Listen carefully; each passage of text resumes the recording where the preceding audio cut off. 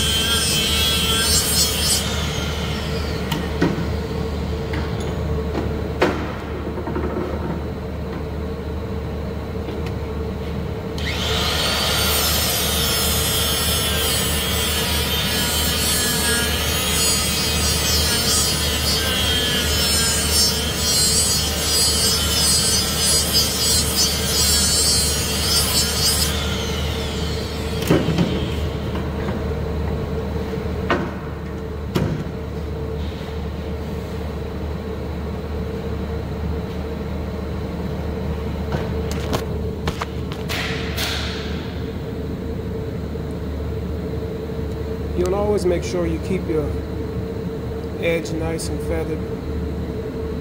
Keep that sharp edge. And get the inside of your pipe. What you're trying to get, or what you're trying to eliminate, is any type of pitting that might be going on on the inside.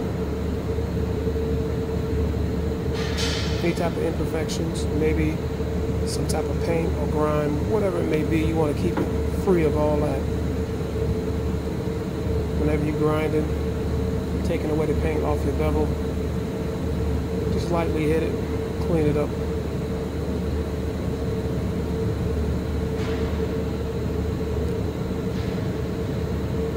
Make sure you take away any type of pitting that may be going on here. Because when you look at the pipe, in the beginning it looks like this right here. You want to take all that away and smooth it out all the way around. Exact same thing. Oh yeah, let's go start our test.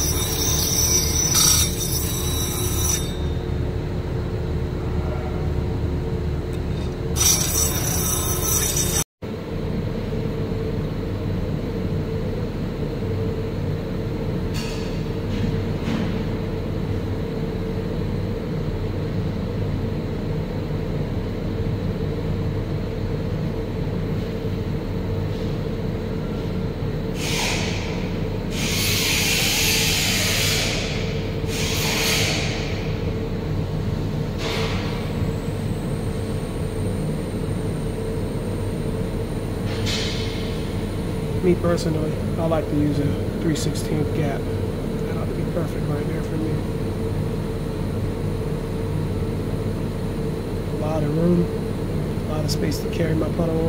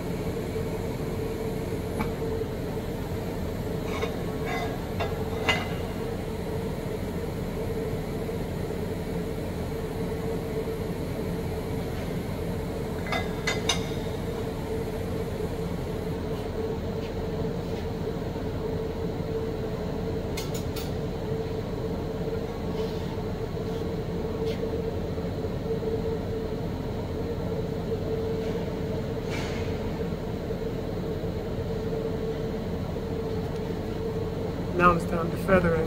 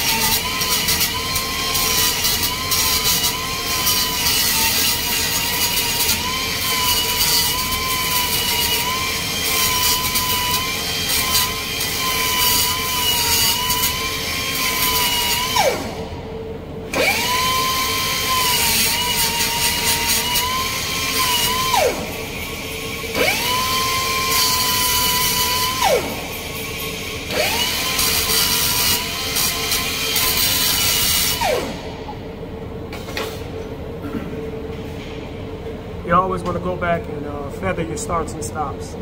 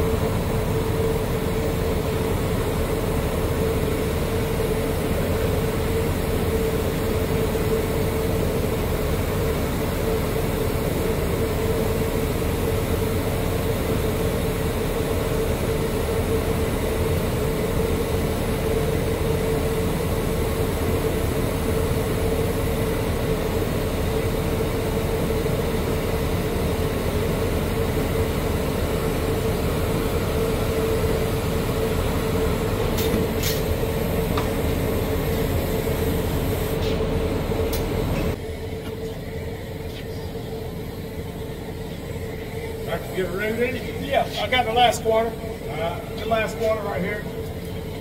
I got one more quarter. Yeah. Uh,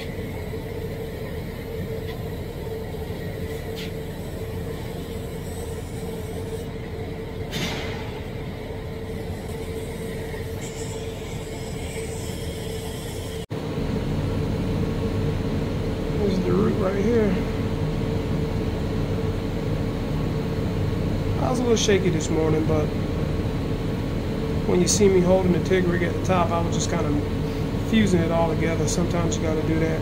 You just can't leave it, or you can. But for the most part, I didn't want to just leave it. But it's all good. Good root.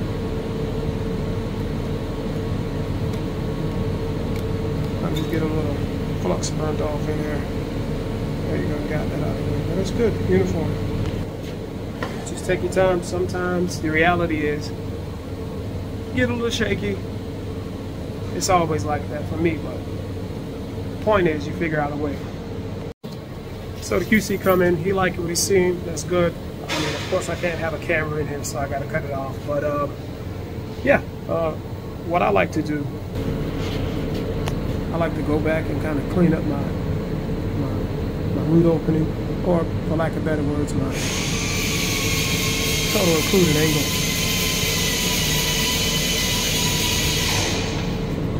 I like to go back and just kind of grind these little arc marks. Any type of marks like that right there, any type of flux that might be sitting in there, I might hit it lightly with the grinder.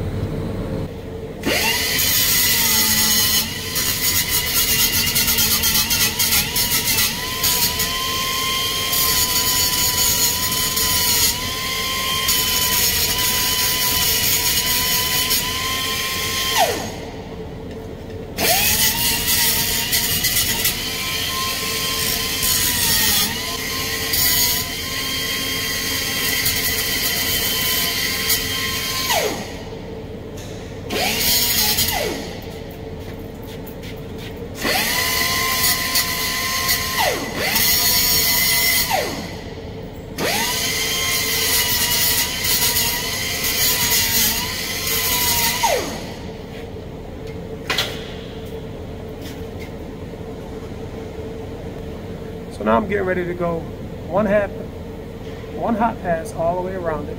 QC gonna come back and look at it, and then we're gonna fill it out halfway with TIG, and then we're gonna jump to the stick.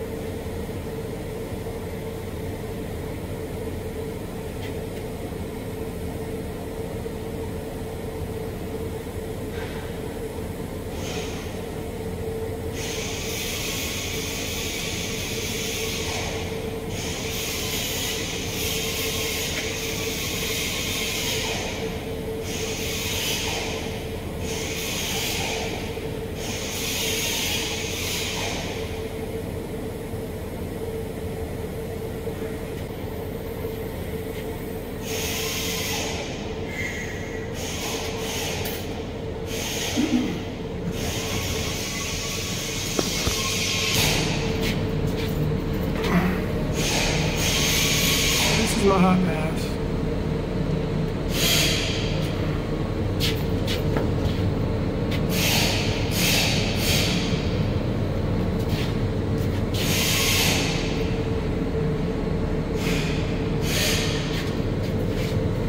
This new style ball grip right here.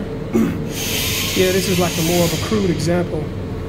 But what I've done, I've, I've designed these ball grips on these TIG handles. Excuse me. And what it does, it really gives you a, it's more ergonomically efficient. As you can see, my hand's closing, it shuts over. It's just a more smooth walk to cut pattern, opposed to just holding a tight grip. I mean, your hand get tired. It seems kind of awkward over a period of time. But if you got a little tiny ball, because when you look at your hand, you relax your hand, you naturally want to relax to about like a ball, like this here. This in your hand, I relax my hand. It's the same situation. So I can weld for a long period of time, and I can be more flexible and more nimble around that uh, that weld, as you see. So I'm gonna go get the PC, see what he say, move on to the stick. So we're going. So we finished a few. so we finished a few hot passes. Root still look good. Got two hot passes or my hot pass in there. Now what we're going to do, we're going to fill out just about halfway, and then we're going to turn over to the stick. It's all working out really well. Um, one of the things when it comes to taking these, when it comes to taking these tests, don't get yourself too beat up on trying to be so technical. As you start to take these tests and progress in your welding career, you're going to realize some of these things, like going back and grinding little dots and this, that, and the third. You really don't have to, but I'll save that for another topic. Let's move on.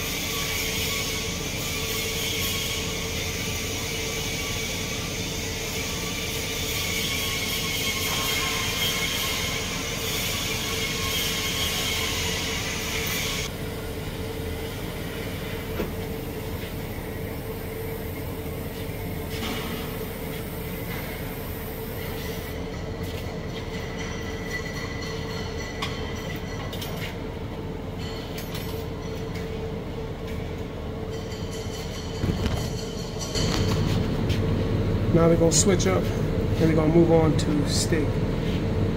As you can see, I flushed it out halfway to the halfway point.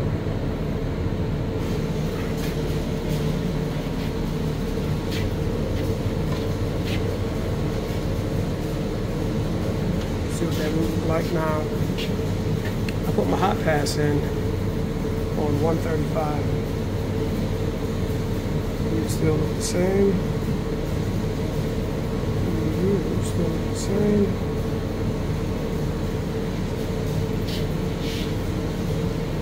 Now you might not want to put your hot pass in on at 135. You might not move a little. You might move a little slower than me. You might move a little faster than me. It all depends. So you have to gauge that.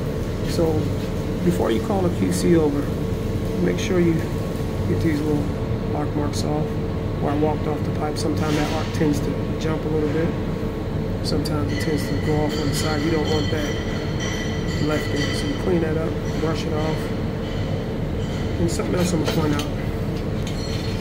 After you walk off and break that arc, sometimes you get little hard points that's on your weld. When you hit it with the hammer, they still don't like to break. When you go over it and try to grind it, it's hard to even grind, but you gotta hold that grinder area with a little bit of pressure and break that off. Grind that most part, let's move on to stick.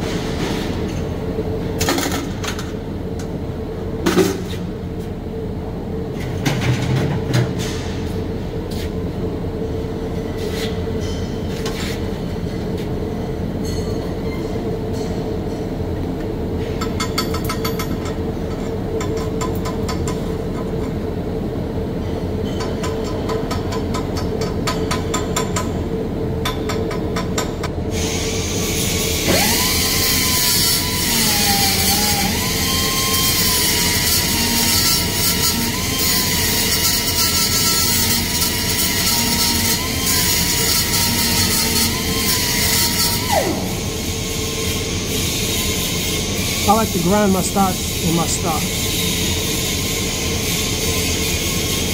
It's always a good idea to grind your starts and your stops because you just never know.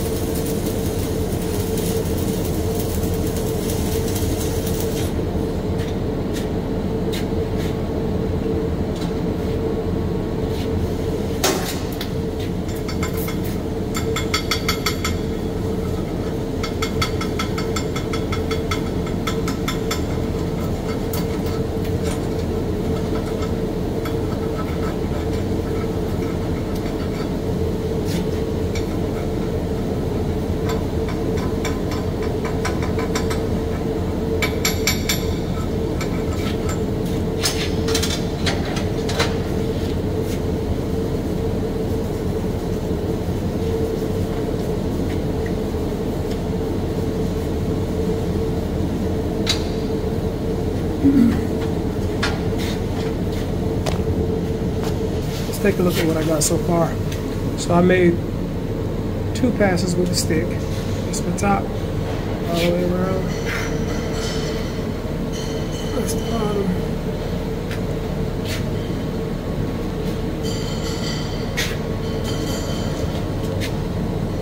If you take a close look at it, you don't see any undercut inside toe of the weld, you don't see any undercut. Even all the way at the bottom, you don't see any undercut. So, the other side, no undercut in my bead at the toe of the weld. So when it's like that, basically you know you had a close arc, you had a nice travel speed, and your amps was right. So when you hit that slag with your chipping hammer, that slag all come off in one piece. So you don't have no jigging and jigging and all that type of stuff you don't really want to deal with when you're taking the test because you got to remember you are under a time.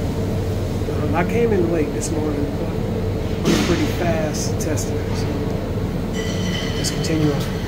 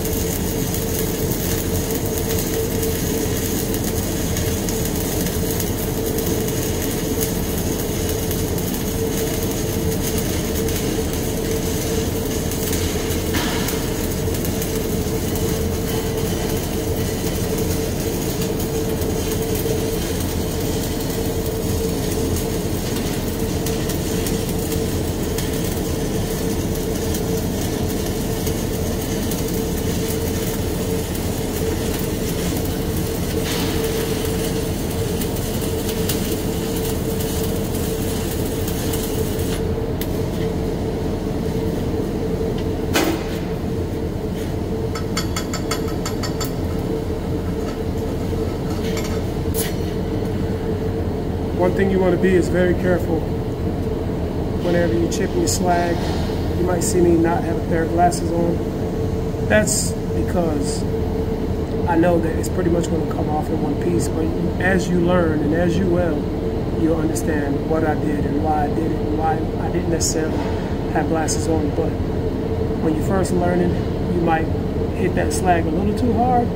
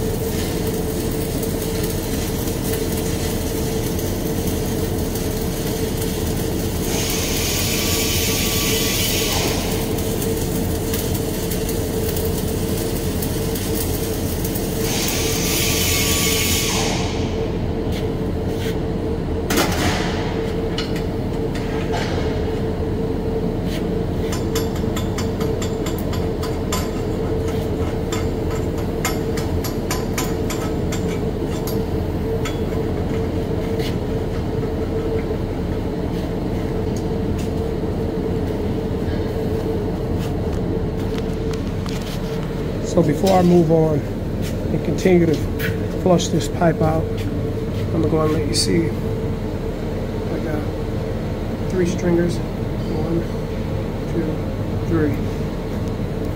One side is already flushed out to a certain extent. As you can see, one, two, three. This side I have one, two. Got one more string I have to run here. That'll be three, two, three. So I'm getting ready. To, I'm getting ready to run this last stringer.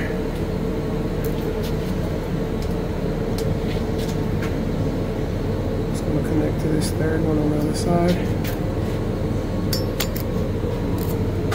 And then we'll be halfway through. Moving on to the cap, so just stay tuned.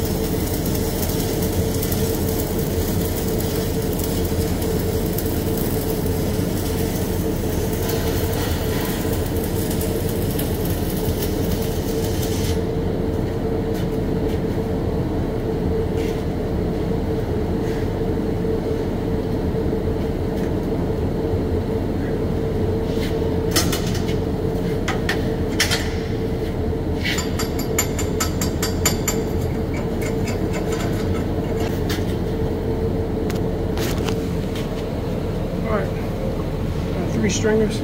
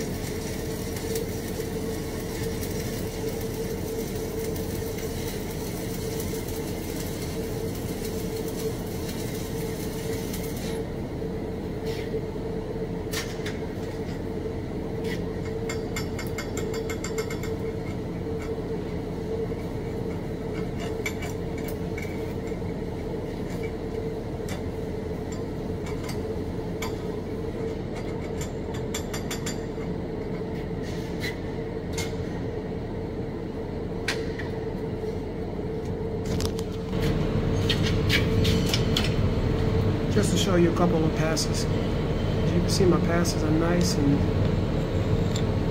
uniform, overlap each other just perfect. Is the bottom.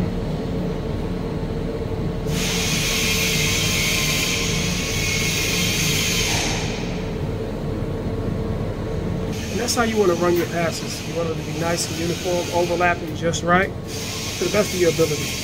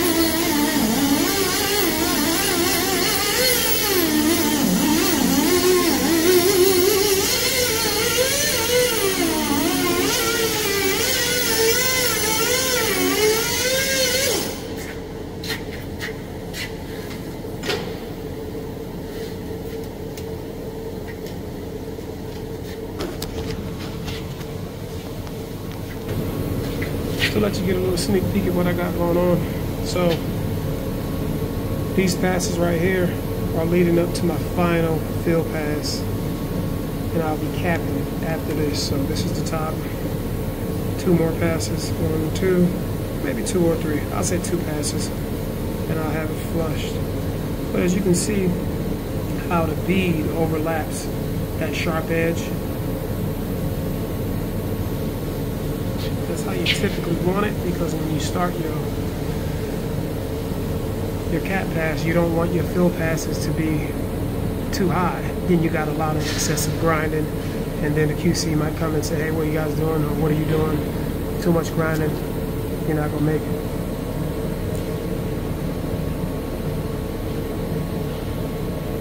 So, like I said, I got two more passes, and I'll be flush right at the line.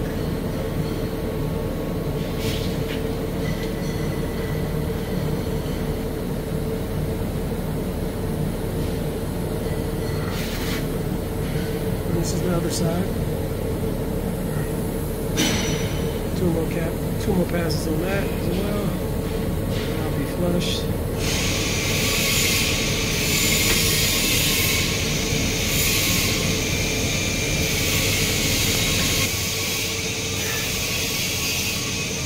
Party must continue. Let's go.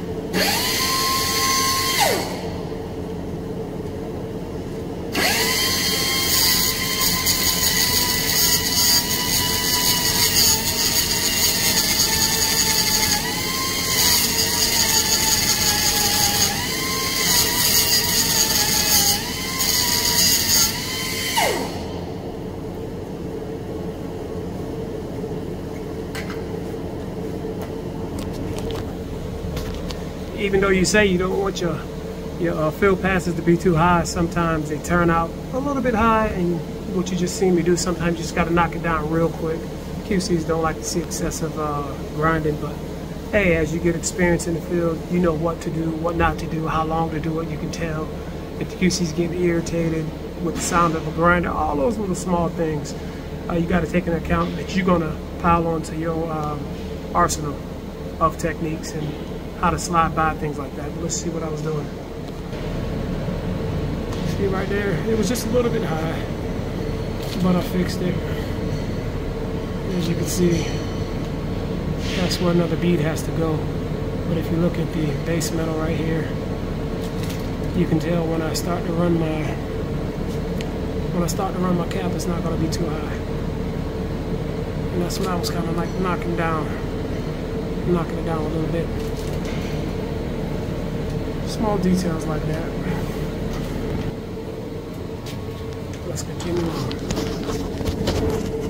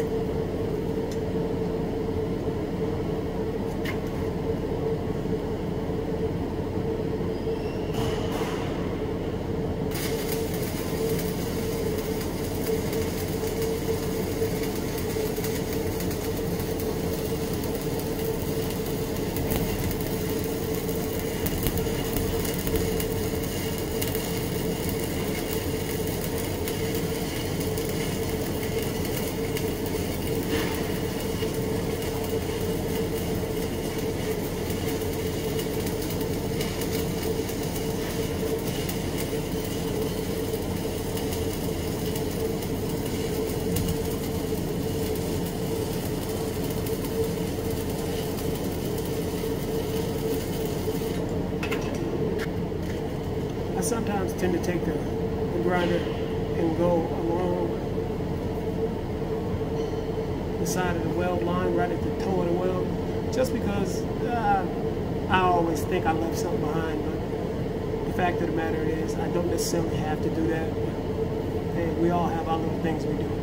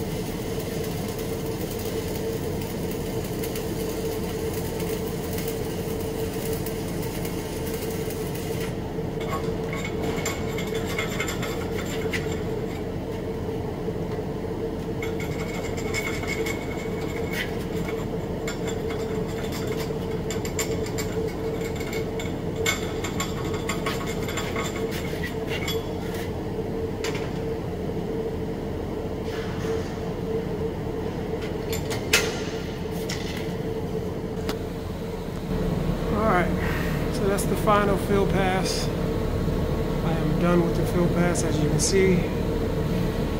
My fill pass is not going to be too high when I go ahead and get ready to run my cap pass. Everything is there. It's going to be nice and flush when I get ready to run my cap pass. Let's take a look at the other side. Same thing. Same thing. If you look at it from an angle, from this angle here, you can see at the bottom, going to be too high when I run my cap pass. But what you did see me do is grind down a little bit right here because it was a little bit high, but we knocked it down. Let's take a look at the root pass. Root's still in there, still intact. It's all good. Gonna get something to eat, and then we're gonna come back and run this cap pass and we're going to be done.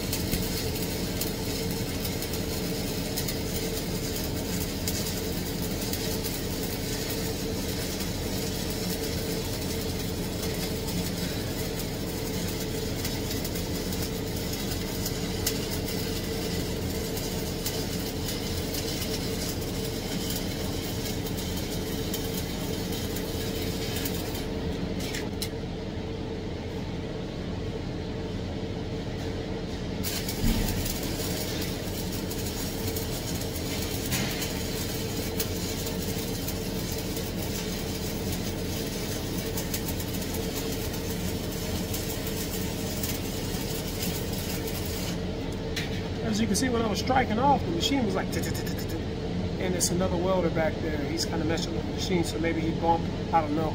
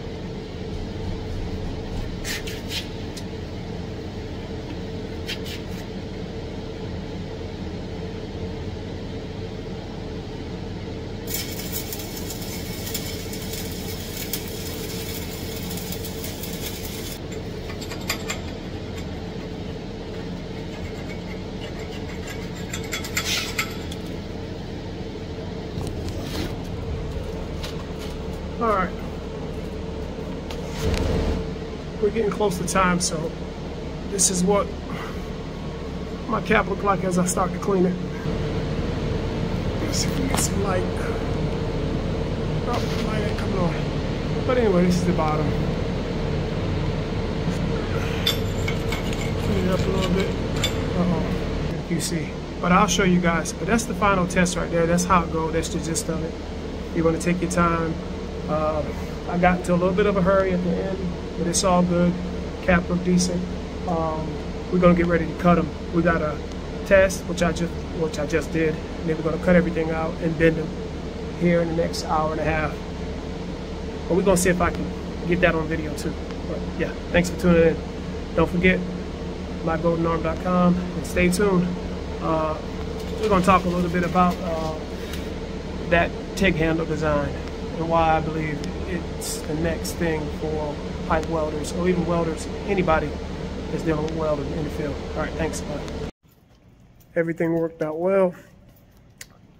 Another test, another job, another location,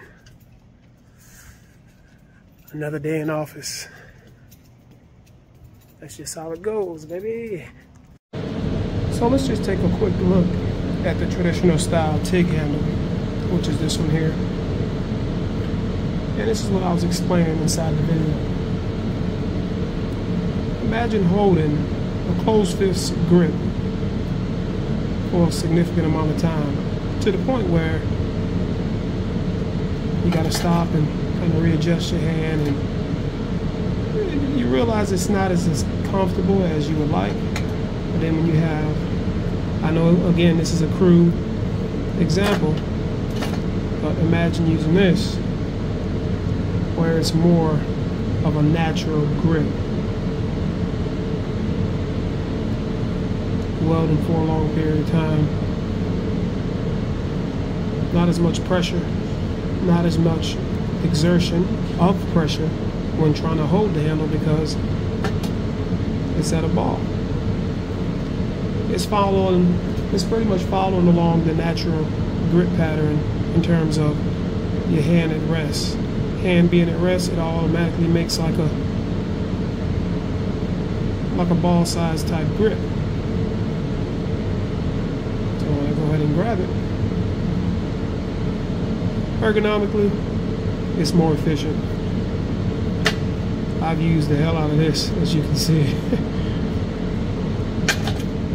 I had to stay away from these here. So, too much stress.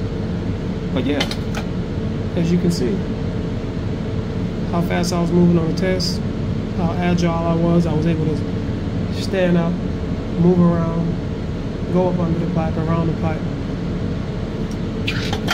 This is the future. This is my weld test. 6 to 10. Not 6 to 10. 70 18 cap. Which is what I did. Oh, that's hot. That's June 2024. Back on the grind. Nobody take as much tests as I take in the field. Y'all know it. You might say, well, why do you take so much tests? It's just me. I mean, personally, I like to move around. I don't necessarily like to stay in one spot. I might stay in one spot for six months, nine months, a year. But me, I like to travel. So I travel. Do whatever you want. It's your career. Last year I took either seven or six tests. I know I was in six different states in 2023. But um, yeah, it is what it is. On to the next. We got everything ready. Now we're getting ready to prep and get four side bends.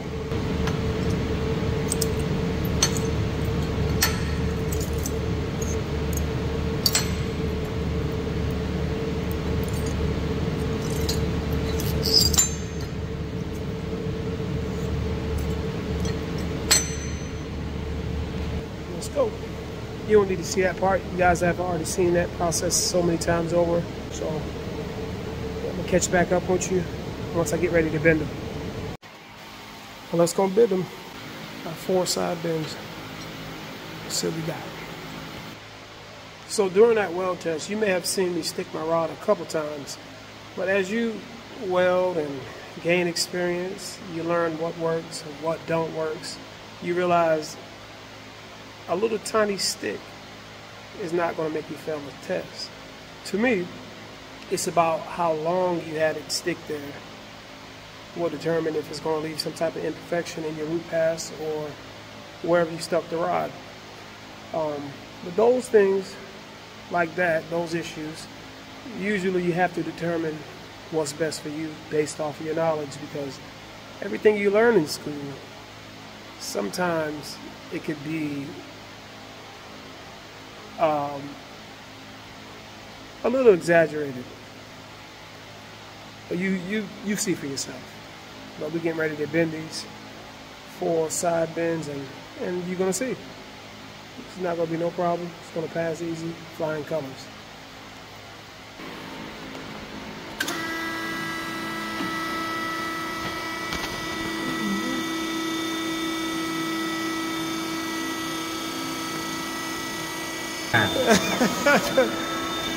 Yeah.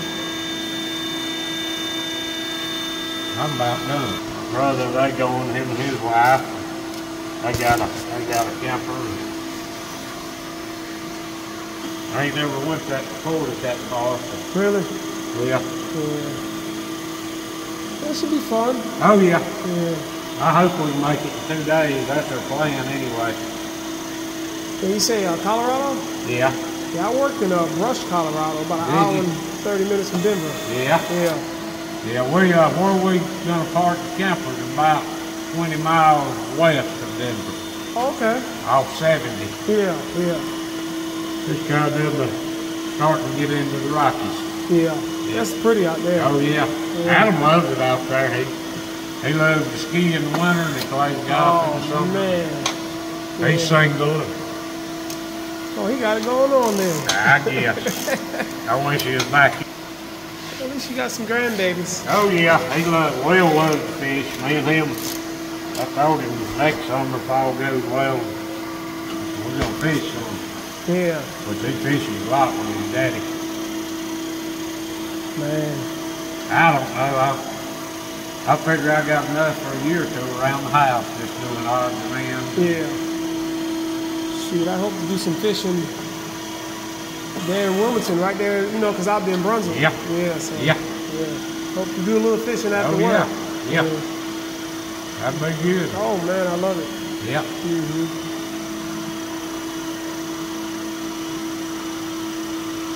Just relaxing.